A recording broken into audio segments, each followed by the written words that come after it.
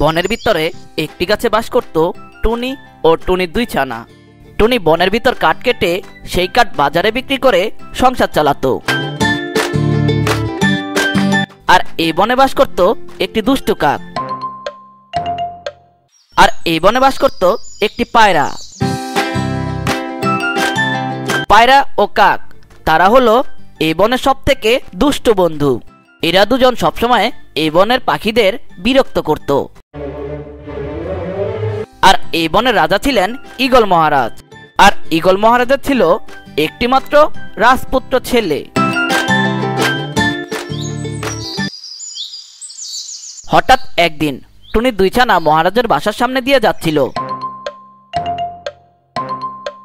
তখন টুনি দুই ছানা দেখে রাজার ছেলে রাজপুত্র দাঁড়িয়ে দাঁড়িয়ে আইসক্রিম খাচ্ছে।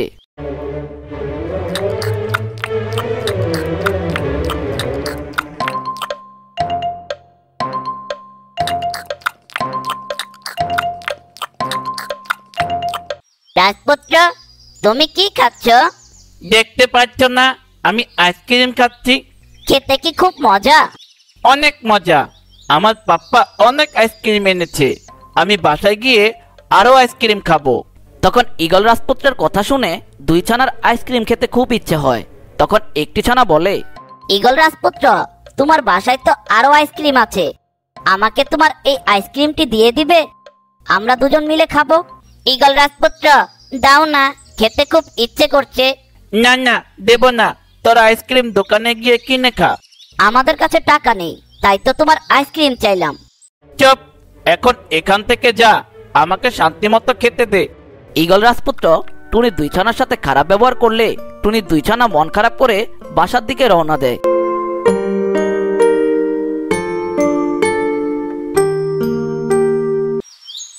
বাসায় এসে টুনি দুই ছানা কান্না করতে করতে টুনিকে বলে, আম্মু, ও আম্মু, আমরা আইসক্রিম খাব, টাকা দাও।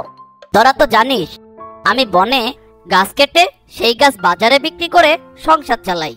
এখন আইসক্রিম কেনার টাকা তো আমার কাছে নেই রে। আমরা এত কিছু বুঝি না, যদি আইসক্রিম না দাও, তাহলে আজকের পর আর খাবার খাব না। এসব কথা বলতে নেই আমার ছানা। না খেয়ে থাকলে তো অসুস্থ হয়ে পড়বি। তোরা চিন্তা করিস না, আমি আগামীকাল গাছ কেটে যা টাকা পাবো তা দিয়ে তোদের জন্য আইসক্রিম কিনে আনব। আচ্ছা আম্মু। সকাল হতেই টুনি কোরাল নিয়ে গাছ কাটতে বনের ভিতরে রওনা দেয়।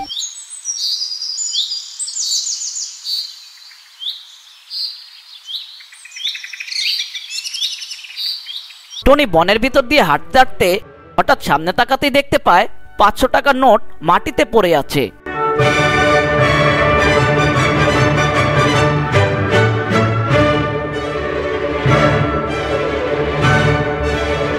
আরে, এ তো দেখি পাঁচশো টাকার নোট। কিন্তু টাকাটা এখানে পড়ল কীভাবে? টাকাটা আসলে কার? তখন টুনি একটু সামনে তাকাতেই দেখতে পেল একটি গাছের নিচে একটি কোকিল পাখি দাঁড়িয়ে আছে।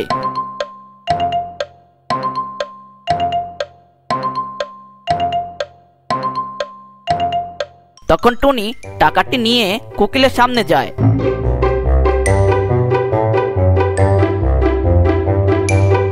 কোকিল ভাই, ও কোকিল ভাই এর টাকাটা কি তোমার? আমি এই রাস্তা দিয়ে আসছিলাম।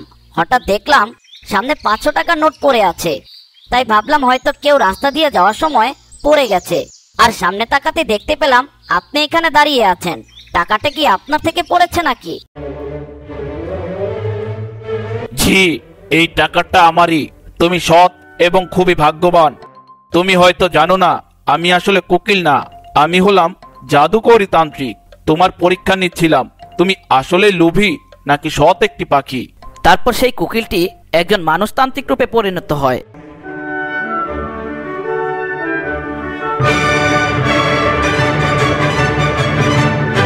টনি তান্ত্রিককে দেখে খুব ভয় পেয়ে যায়।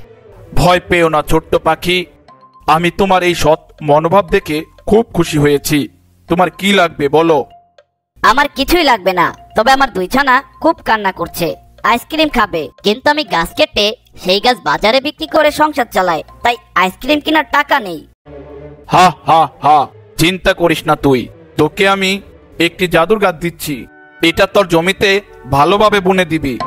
আর দেখবি কাল সকালে একটি আইসক্রিম গাছ হবে। সেই গাছে অনেক আইসক্রিমও হবে। তারপর তান্ত্রিক একটি জাদুর গাছ টুনিকে দেয়।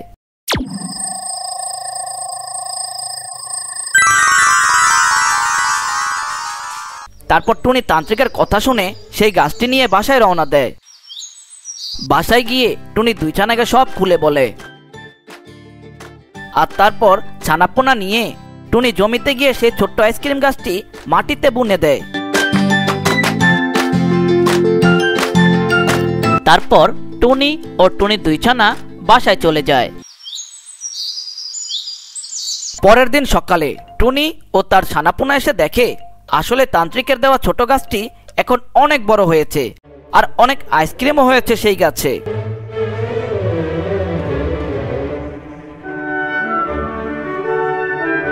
তখন টুনির একটি ছানা টুনিকে বলে আম্মু ও আম্মু একটা আইসক্রিম দাও না খাব? তারপর টুনি দুই ছানাকেই দুটো আইসক্রিম দেয় আর দুই ছানাই আইসক্রিমগুলো খুব মজা করে খেতে থাকে।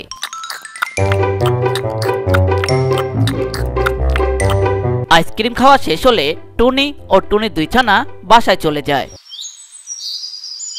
পরের দিন সকালে কাক টুনির জমির পাশ দিয়ে বাজারে যাচ্ছিল। তখন সামনে খেয়াল করে টুনির জমিতে একটি গাছ, আর সেই গাছে আইসক্রিম হয়েছে।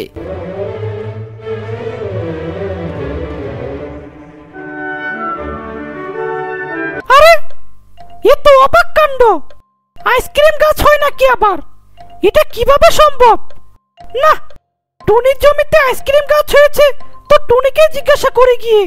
কাক এ কথা বলেই টুনির বাসায় রওনা দেয়।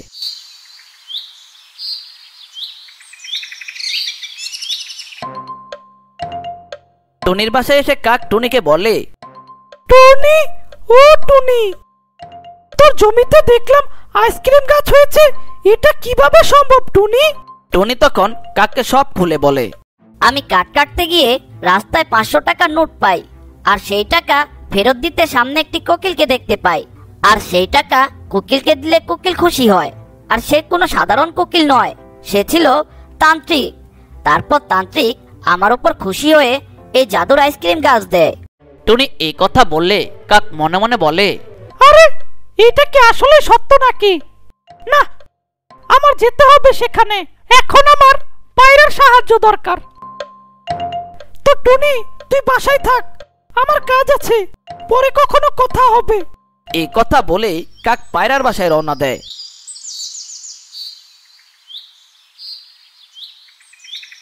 আর কাক পায়রার বাসায় গিয়ে পায়রাকে সব খুলে বলে।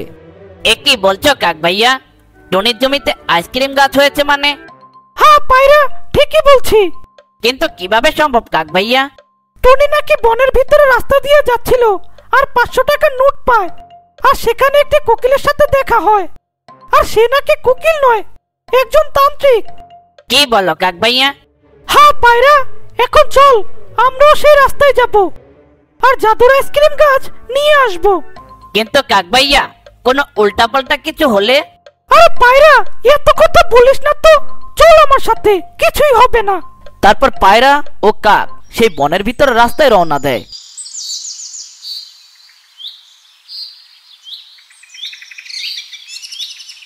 হাঁটতে হাঁটতে কিছুক্ষণ পর কাক আর পায়রা সামনে দেখতে পায় এক হাজার টাকার নোট মাটিতে পড়ে আছে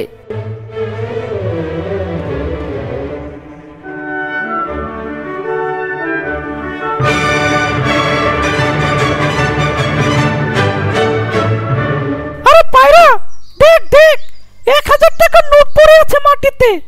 তাই তো দেখতে পাচ্ছি কাক ভাইয়া। তার মানে টুনি সত্যিই বলেছিল। কিন্তু পায়রা টুনি তো বলেছিল পাঁচশো টাকার নোট।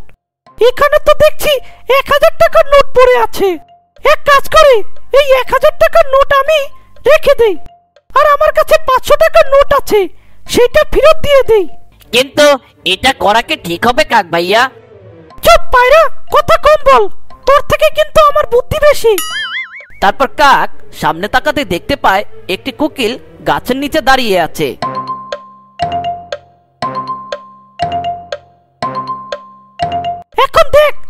জাদুর গাছ কীভাবে নিয়ে আসি? তুই এখানেই দাঁড়িয়ে থাক। আর কাক মনে মনে বলে টনি বলেছিল পাঁচশো টাকা আর এখানে আমি পেলাম এক হাজার টাকা। এখন যদি এক হাজার টাকা আমি কোকিলকে ফেরত দেই তাহলে তো আইসক্রিম গাছ আমাকে দিবে না। তাই বুদ্ধি করে পাঁচশো টাকাই কোকিলকে দিব। তাহলে আমাকে আইসক্রিম গাছ দিবে। আমার মতো বুদ্ধি আর কারও মাথায় আছে নাকি? হা হা হা। এইদিকে কাক মাটি থেকে এক হাজার টাকা তুলে নিজের কাছে রেখে দেয়। আর নিজের পকেট থেকে পাঁচশো টাকা বের করে সে পাঁচশো টাকা নিয়েই কোকিলের কাছে রওনা দেয়।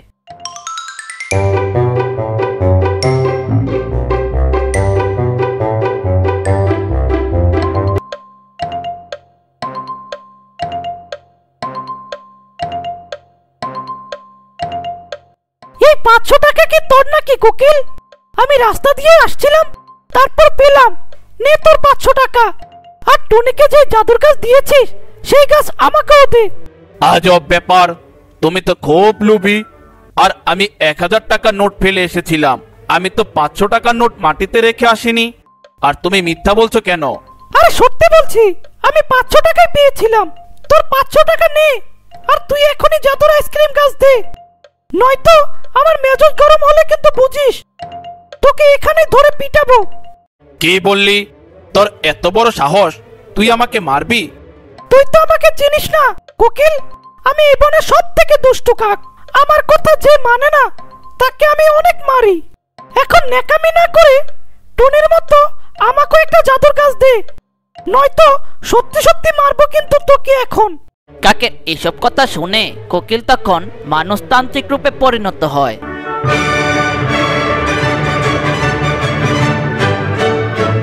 তান্ত্রিককে দেখে কাক একটু ভয় পেয়ে যায়। হা হা হা। লোভী তোর ব্যবহার আর লোভের জন্য পুরস্কার তো পাবিই না উল্টো তুই এখন শাস্তি পাবি। তারপর তান্ত্রিক মশাই জাদুর মাধ্যমে কাককে বরফ বানিয়ে দেয়।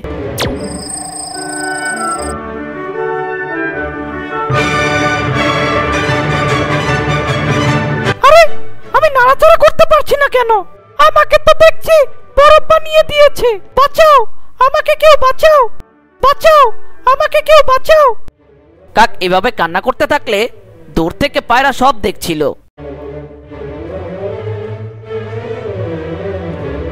তখন পায়রা বুদ্ধি করে টুনির কাছে যায় আর টনিকে সব খুলে বলে।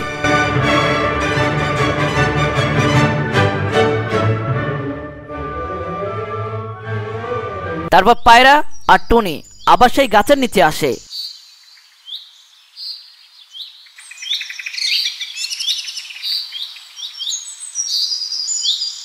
তখন টুনি বলে তান্ত্রিক মশাই দয়া করে কাককে এবারের মতো ছেড়ে দিন। কাক আমার প্রতিবেশী। দয়া করে ওকে আর শাস্তি দিয়েন না।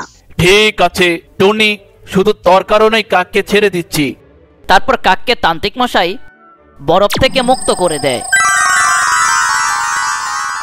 আর তান্ত্রিক মশাই সেখান থেকে উদাও হয়ে যায়। আর কাক টুনিকে ধন্যবাদ দেয়। ধন্যবাদ টুনি! শুধু আমাকে ধন্যবাদ দিলে তো চলবে না। পায়রা যদি আমাকে এসে না বলতো তাহলে তো আমি জানতামই না যে তুমি এখানে পাথর হয়ে আছো। ঠিক বলেছিস টুনি! পায়রা ভাই আমার তোকেও ধন্যবাদ। আমার শাস্তি হয়েছে। আমি আর কখনোই লোভ করব না।